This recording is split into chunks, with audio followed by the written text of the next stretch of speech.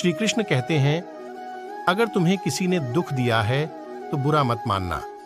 क्योंकि लोग उसी पेड़ पर पत्थर मारते हैं जिस पेड़ पर ज्यादा मीठे फल होते हैं